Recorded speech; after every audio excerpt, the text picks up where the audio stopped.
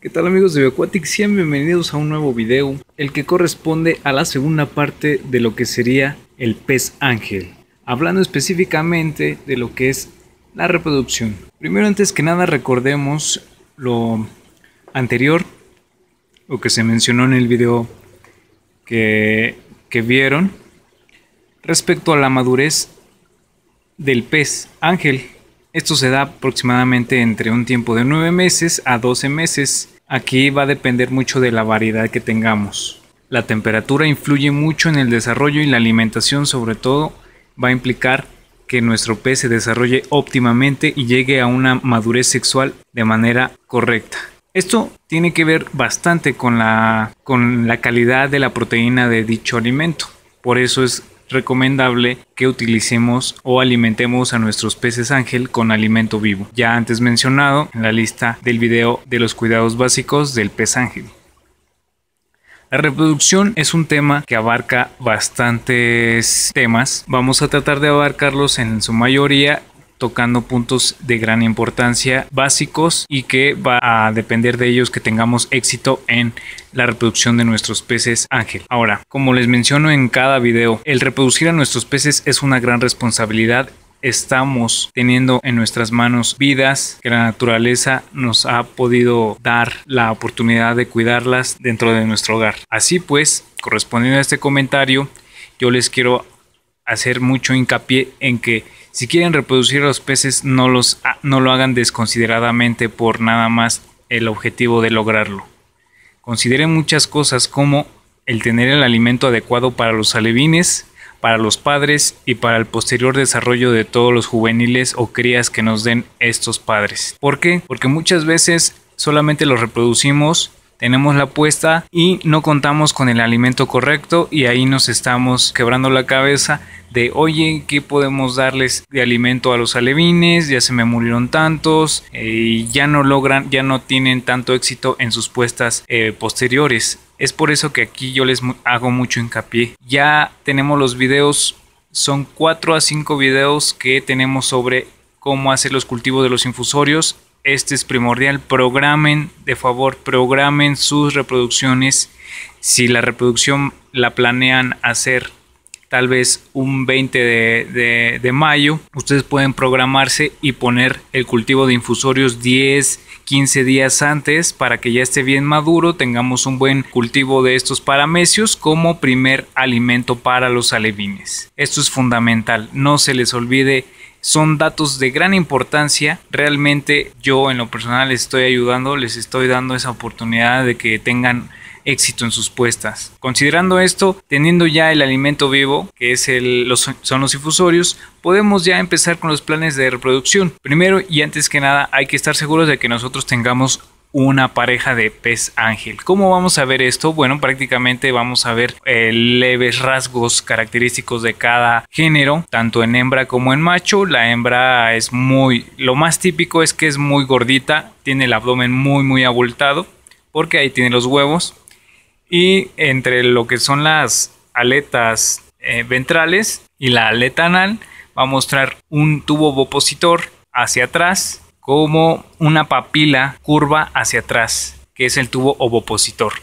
Y en el macho lo característico es que es muy esbelto, es muy activo, es muy territorial, además de que de igual modo entre las aletas ventrales y la aleta anal va a mostrar un tubo espermático, terminación en punta, además de que es muy esbelto como lo menciono.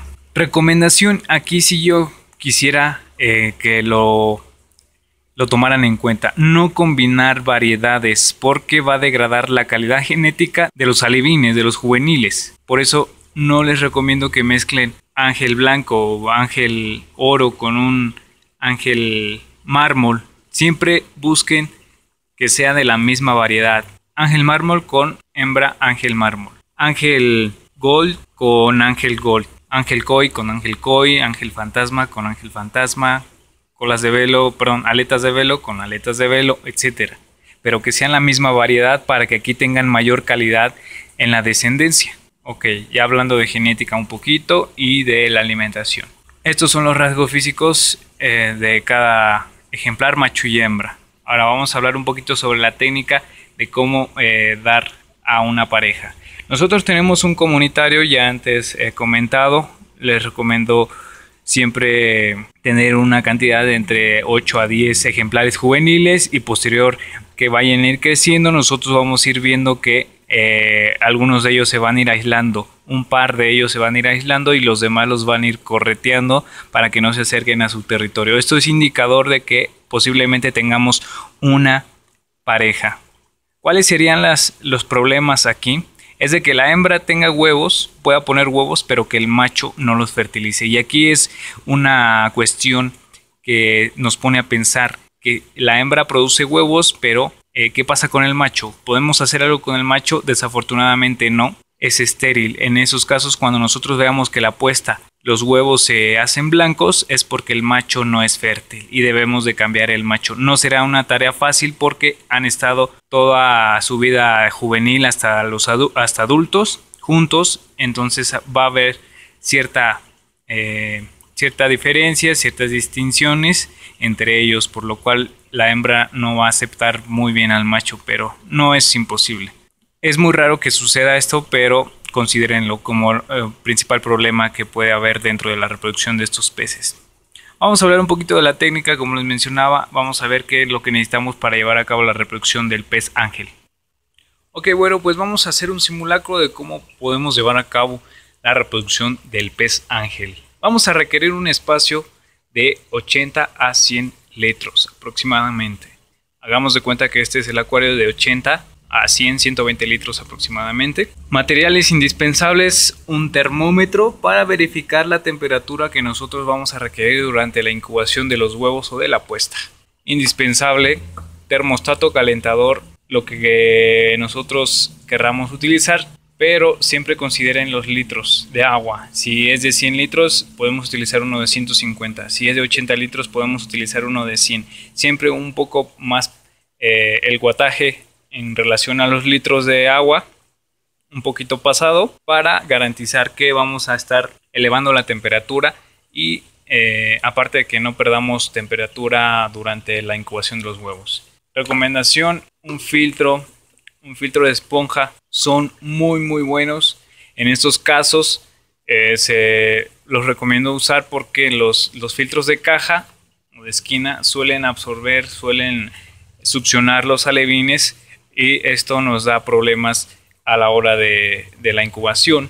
Entonces, este tipo de, filtros, eh, vamos a elaborar un, video aparte para que ustedes vean cómo los hacemos de manera casera, pero si tienen ya disponible algún filtro de esponja, utilícenlo junto con una bomba de aire, por supuesto. Eh, conectan aquí la manguera de la bomba de aire y va a funcionar funciona por vacío. Por esta esponja absorbe el agua y por el tubo va a subir el agua, sale por aquí junto con el aire que se inyecta. ¿De acuerdo? Vamos a utilizar aquí los materiales son variables para que pon, eh, ahora sí que se dé la puesta. En este caso eh, yo utilizo una pequeña maceta de barro. Pueden utilizar una teja, pueden utilizar un cristal, y lo vamos a colocar en, de preferencia que sea en el centro. El termostato es siempre indispensable en estos aspectos. Ponerlo siempre en el lado contrario al termómetro para verificar que la temperatura sea totalmente uniforme dentro del acuario. Y por último, pues vamos a colocar nuestro filtro de esponja. Vamos a dejar a la pareja una vez que nosotros ya verifiquemos que tenemos una pareja y que ha dado huevos dentro del acuario comunitario, nosotros vamos a asegurarnos de que esa pareja siga estable. ¿De acuerdo? Entonces nosotros vamos a preparar nuestro acuario. Ellos cuando están maduros ya sexualmente nos van a dar puestas de 15 a 20 días dependiendo la alimentación que nosotros les aportemos, así como la temperatura y los cuidados, la calidad del agua, la filtración, el medio entorno en donde se, desarrollan. Y todo esto va en relación a... Eh, al manejo que les demos, ¿de acuerdo? Entonces va a ser muy variable, 15 a 20 días o hasta el mes nos van a estar dando una apuesta, ¿de acuerdo? Pero siempre y cuando nosotros les demos muy buenos tratos. Esto no va a ser siempre que que porque les cambiemos bien el agua y les demos nada más dos a una vez de alimento, va a significar que se van a reproducir. Obviamente sí se van a reproducir, pero no como uno lo espera.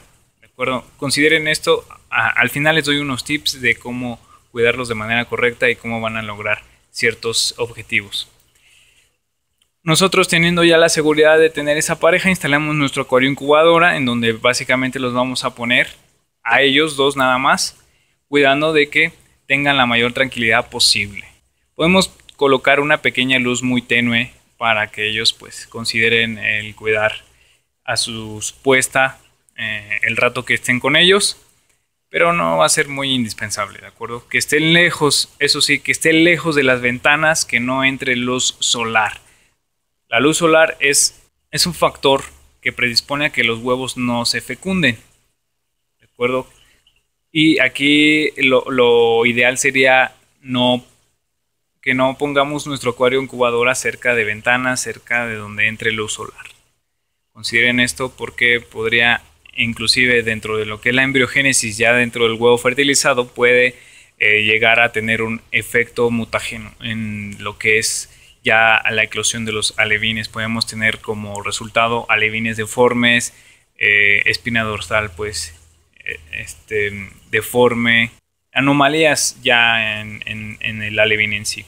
Cuando nuestros peces ángeles decidan reproducirse, los padres van a empezar a limpiar dicho, dicho material que nosotros le hayamos puesto, ya sea la pequeña teja de barro, la maceta de barro, la loseta o la hoja de cristal, ellos van a limpiarla y eso nos va a dar como indicativo de que están preparando el sitio para eh, ovopositar, más que nada la hembra, van a reproducirse. Aquí nada más cabría resaltar que parejas primerizas puede que lleguen a comerse sus huevos por inexperiencia de los padres.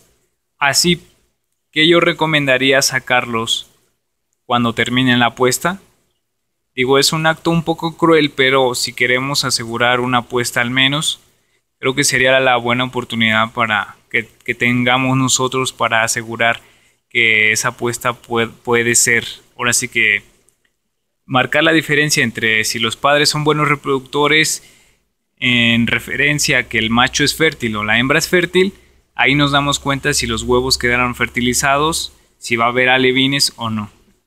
En posteriores puestas, ya podríamos dejar que los, los padres cuiden a los alevines.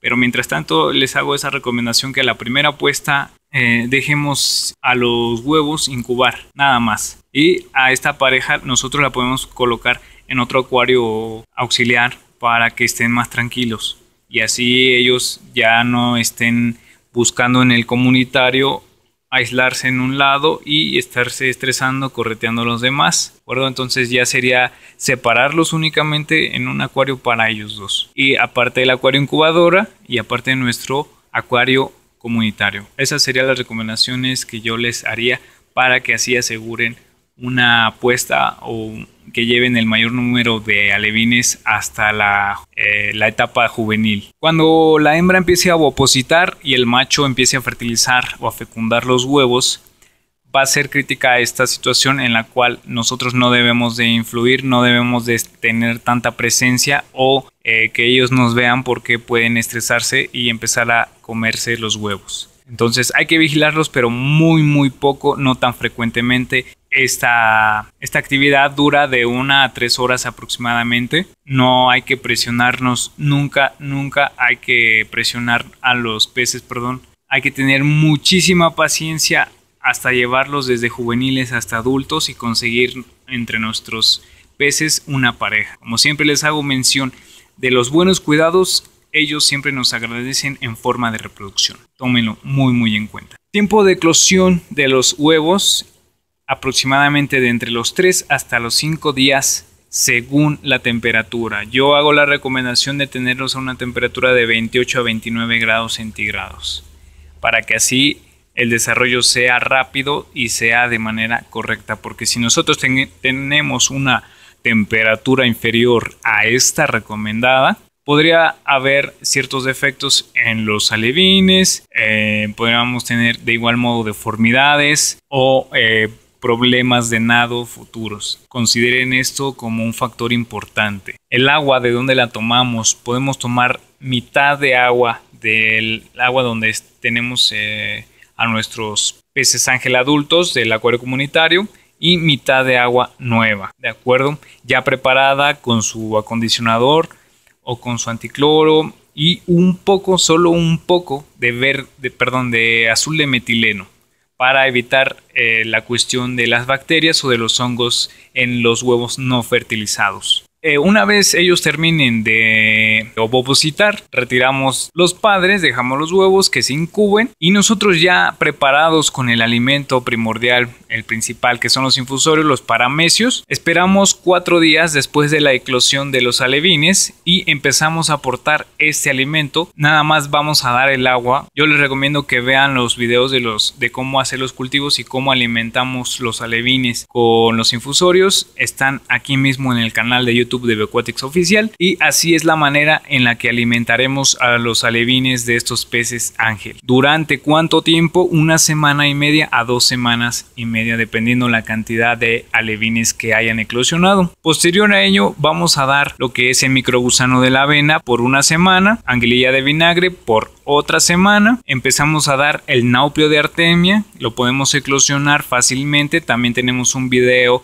en el canal de YouTube de cómo eclosionar y recolectar el nauplio de artemia para darlo a los alevines alrededor de un mes a un mes y medio. ¿Por qué? Pues porque tiene un mayor contenido de proteína de un 76 hasta un 85%, que eh, aquí hago la recomendación siempre que vayan a utilizar el nauplio de artemia, eclosionen lo que se van a lo que van a ocupar en un día. Las veces que le vamos a aportar al día a los alevines va de 3 a 4 veces al día. Esto es fundamental porque están en una etapa de desarrollo muy muy rápido, lo cual requieren la dieta más completa posible. Cambios de agua, los cambios de agua, eh, si tenemos muchos alevines, tenemos que hacerlos al menos cada tercer día de un 30 a un 35%. Si vemos muchos desechos, podemos tomar una pequeña manguerita de las del aire y con esa vamos sifonando el fondo. Muy fácil, muy sencillo, una tarea de paciencia sobre todo pero que estas actividades muy fáciles de hacer van a asegurar el futuro, el éxito de nuestra apuesta en sí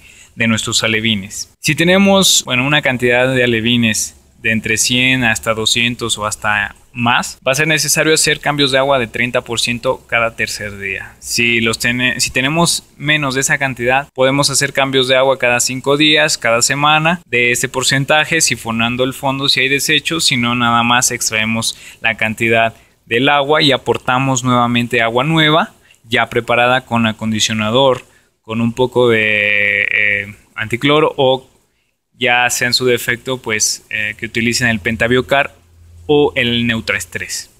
Son productos muy buenos, yo los recomiendo en lo personal. De aquí ya va a diferir mucho en, el crecimiento de los, de los alevines, ya van a empezar a tomar forma de ángel. Aproximadamente al mes, mes y medio empiezan a, a crecer los más aptos, los que se desarrollen más rápido, los que se se desarrollen un poco más lento, van a ir variando los tamaños, hay que ir separando por acuarios los tamaños, los más grandes con los más grandes, los medianos con los medianos y los más chicos con los, más chicos, porque aquí vamos a tratar de igualar los tamaños en conforme a las veces de alimentación. Por ejemplo, los más grandes son los que consumen más, vamos a reducir un poco ya en una edad de tres meses, vamos a darles tres veces al día alimento vivo, a los medianos cuatro veces al día alimento vivo y a los pequeños de 5 a 6 veces de alimento vivo al día. Es indispensable porque así vamos a ir igualando las tallas. Estos son tips muy muy básicos pero de gran importancia para lograr éxito en ellos. ¿Qué más podemos decir acerca de la reproducción del pez ángel? Ok, los tips. Estos tips los pueden considerar ya dependiendo de su criterio. Yo se los doy, yo se los aporto porque me gusta que eh, consideren esto como recomendaciones que yo hago de manera eh, libre por experiencia propia Yo les hago saber. Antes que nada, hablemos de la preparación de los padres. Esto es fundamental porque va a determinar si los huevos de la hembra y el esperma del macho van a tener gran calidad, eh, van a ser muy fértiles o van a tener muy buena estructura, eh, morfología, etcétera, que determinen la calidad de los alevines futuros. La alimentación creo que es uno de los temas en el cual va a tener mucha, mucho impacto, perdón, dentro del desarrollo de los padres. Recomendado utilizar alimentos vivos, de preferencia artemia salina durante un mes cuando nuestros peces ya sean adultos, utilizar artemia salina durante un mes completo alternándolo con alimento comercial. Por ejemplo, podemos dar tres veces alimento vivo y una vez alimento comercial. Aportarles una cantidad, perdón, una calidad de agua con un sistema de filtrado que podemos manejarlo ya por un filtro de cascada, por un filtro canister o por un filtro wet drip que nosotros hayamos elaborado. Pero siempre mantener cuidado en este aspecto por los cambios eh, semanales, quincenales del 30% de agua, para que así garanticemos que ellos están sanos. En cualquier condición de enfermedad no es recomendable reproducirlos porque están inmunodeprimidos, están estresados y si los llevamos hacia la reproducción puede que mueran por un estrés fulminante en ellos. Si están enfermos y se recuperan, yo recomiendo dejar un tiempo de, recuperación de dos a tres meses para así asegurar la salud de, de los dos, tanto macho como hembra. Aportarles un buen espacio para la reproducción, como lo habíamos mencionado, de entre 80, 100 120 litros aproximadamente. Además de no estresarlos tanto con movimientos bruscos, eh, dejarlos lo más tranquilos posible para que así ellos estén más cómodos en su entorno y lleguen más fácil a reproducirse. Otra de las cosas, sean pacientes, sean pacientes y organicen su tiempo referente a preparar el alimento vivo para los alevines. Esto es de tiempo, esto lleva tiempo, esto lleva paciencia y responsabilidad. Si no tienen tiempo pero quieren reproducirlo, mejor ni lo hagan. En serio, esa es la mejor recomendación que yo les hago. Porque no van a lograr nada, van a gastar dinero y al poco rato van a terminar dándose de baja en este hobby. ¿De acuerdo? Creo que es una de las recomendaciones más serias que yo hago aquí. Porque, pues sí, realmente lleva mucha responsabilidad. Lo hemos visto y se ha comprobado.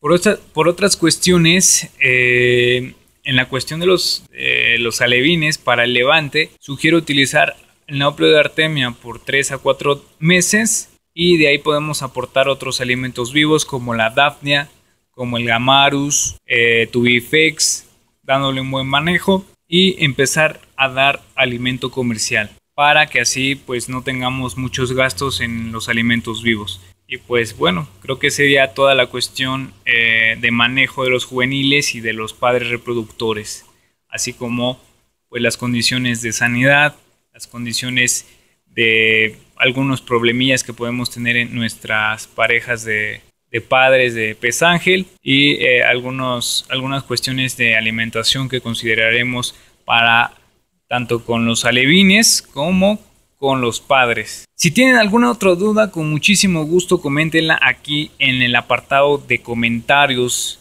de YouTube. Hagan sus observaciones, sus dudas, coméntenlas. Si te nace darle un me gusta a este video y compartirlo, muchísimas gracias. Yo te invito en lo personal a que te suscribas para seguir recibiendo grandes tips e información muy completa, experimentada y sobre todo de gran apoyo y soporte para este bonito hobby que es la acuariofilia ornamental. También visítanos en la página de Facebook de Bioaquatics Oficial en donde pues podrás encontrar información sobre eh, este mundo de la acuariofilia ornamental, así como también poder consultarnos cualquier tipo de información de la cual tú requieras. Con muchísimo gusto nosotros te la aportamos y realmente les quiero agradecer a todos los amigos de Bioaquatics que nos ven, que de verdad nos apoyan, que nos siguen, que nos siguen dando ánimos viendo estos bonitos videos. Muchísimas gracias por ser ya más de 4400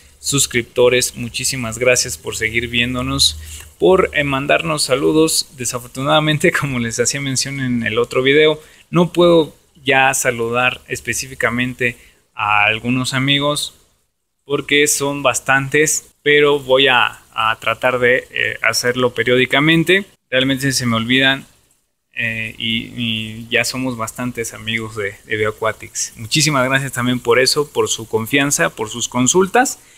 Y pues esto créanme que entre más vean los videos, más me motivan a sacar temas ya un poquito más complejos.